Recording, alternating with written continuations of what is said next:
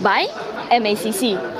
MACC issued a statement on 22nd of August, okay, asking uh, Nik Faisal and also Datuk Suboh together with Jolo to contact MACC immediately to assist in the investigation connected with SRC International.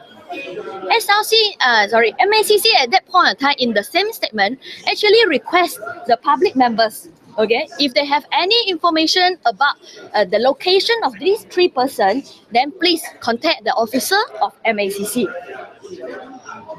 According to a news report on Ju- in July, members of the investigating team of the Special Task Force have been unable to locate Nik Faisal and also Datuk Suboh since July this year.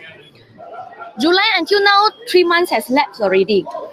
It is ridiculous and totally unacceptable for Datuk Sri Najib in his capacity as the finance minister told me in a written answer dated 21st of October saying that based on the information provided by SRC, these two directors are uh, preparing, uh, in, uh, making preparation to be interviewed by MACC soonest to assist in the investigation. My question is, what sort of preparation that actually needs more than three months' time?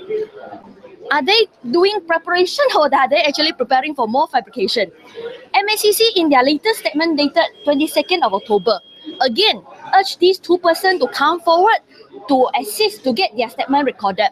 So my question is, ever since the MACC first issued their statement on 22nd of August, the these two directors from SRC International contact MACC to render their assistance. Okay, uh, it is common for the criminals and wrongdoer to flee from investigation.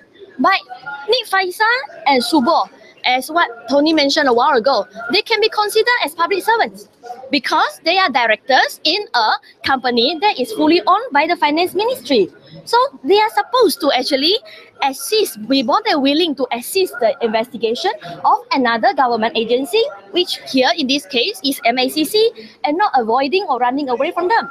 What appalled to me is the leniency shown by the Ministry of Finance towards these two directors. I said that Najib should at least he need to instruct these two directors to go to MACC to contact MACC to get their statement recorded immediately. And if these two persons refuse to do so, then I would say their di- um, uh, uh, directorship should be revoked immediately. Otherwise, I'm asking, does it mean that actually MACC dual, their uncooperativeness is actually sanctioned and actually condoned by our PM, who is also the finance minister? So my question to uh, SRC International is, you have been requ- repeatedly requested by MACC to assist in the investigation. So when are these two directors going to contact MACC to get their, their statement recorded immediately? Okay. Any questions? A copy of the answer, actually, most of you, I think, should have it already. Uh, anyway, I will email it to you later as well. Lah. Questions? tambah sikit.